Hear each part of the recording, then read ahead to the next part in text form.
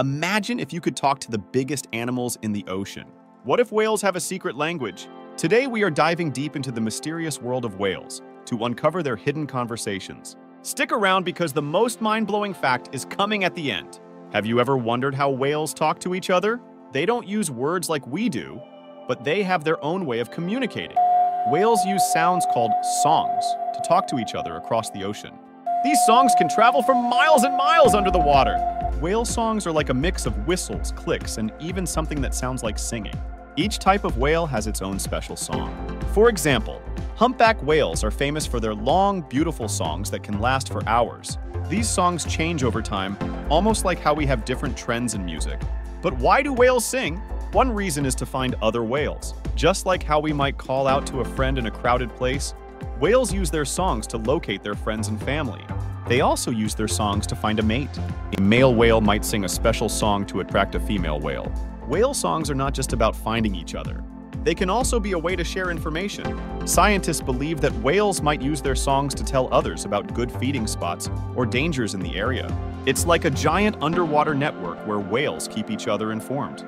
Another amazing thing about whale songs is that they can be very complex. Some songs have patterns that repeat, and these patterns can be very detailed. This complexity makes scientists think that whale songs might carry a lot of information. Whales also use other sounds besides songs. For example, dolphins, which are a type of whale, use clicks to find their way around. This is called echolocation. They make clicking sounds and listen to the echoes that bounce back from objects. This helps them see with sound, even in the dark ocean depths. The blue whale, which is the largest animal on Earth, uses very low-frequency sounds to communicate. These sounds are so low that humans can't hear them. But other whales can pick up these low rumbles from hundreds of miles away. It's like a secret code that only whales can hear. Did you know that baby whales, called calves, learn to sing from their mothers? Just like how human babies learn to talk by listening to their parents, whale calves listen to their mother's songs and try to copy them. This shows us that whale songs are an important part of their culture and family life. Whales are also very social animals. They often travel in groups called pods.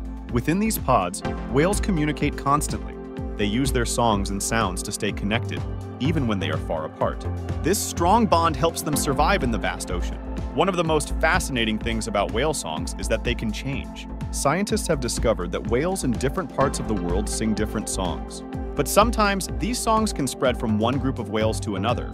It's like a hit song that becomes popular all over the world. Now, here comes the most amazing part. Some scientists think that whales might use their songs to help them navigate. Imagine being able to find your way just by singing. Whales might use their songs to map out the ocean and remember important places. This incredible ability shows us just how intelligent and resourceful whales are. Understanding whale songs helps us appreciate these magnificent creatures even more. It reminds us that there is still so much to learn about the ocean and its inhabitants. By studying whale songs, scientists hope to protect whales and their habitats, ensuring that these gentle giants continue to sing their songs for generations to come.